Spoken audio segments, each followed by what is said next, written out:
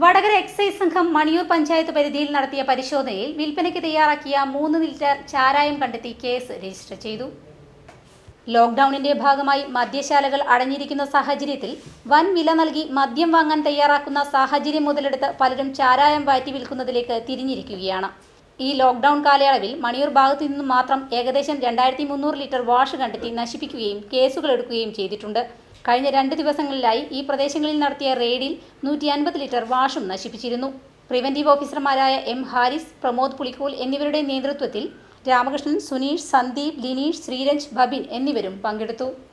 Vadakara excise range party ഇന്ന് മണിയൂരിലെ കരുവഞ്ചേരി ഭാഗങ്ങളിൽ നടത്തിയ റെയ്ഡിൽ മൂന്ന് ലിറ്റർ ചാരായവും ആയിട്ട് കുറ്റിക്കാട്ടുപറമ്പത്ത് കുറ്റിക്കാട്ട് പറമ്പത്ത് അശോകൻ എന്ന ആളുടെ പേരിലൊരു അബ്കാരി കേസ് എടുത്തിട്ടുണ്ട് ഇതേ സ്ഥലത്ത് തന്നെ ഇന്നലെയും വടകര എക്സൈസ് പാർട്ടി നൂറ്റൻപത് ലിറ്ററോളം വാഷ് നശിപ്പിക്കുകയും കേസെടുക്കുകയും ചെയ്തിട്ടുണ്ട്.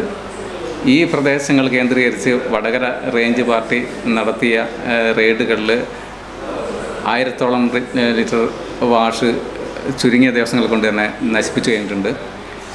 ഇപ്പോഴും നിരവധി പരാതികൾ ആ സ്ഥലങ്ങളിൽ നിന്ന് വന്നുകൊണ്ടിരിക്കുകയും ഞങ്ങളാൽ കഴിയുന്ന എല്ലാ സ്ഥലങ്ങളിലും എത്തിപ്പെടുകയും വീണ്ടും അബ്കാരി കേസുകൾ എടുക്കാനുള്ള എല്ലാ സഹായങ്ങളും ജനങ്ങളുടെ ഭാഗത്തു നിന്ന് ലഭിക്കുകയും ചെയ്യുന്നുണ്ട്.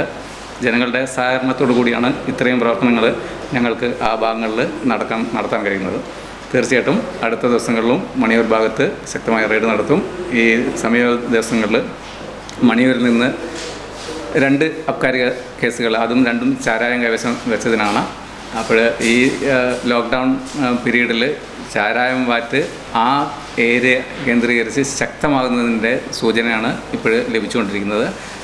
തീർച്ചയായിട്ടും അടുത്ത ദിവസങ്ങളിലും ഈ പ്രദേശങ്ങളിൽ റെയ്ഡ് നടത്തുന്നതായിരിക്കും.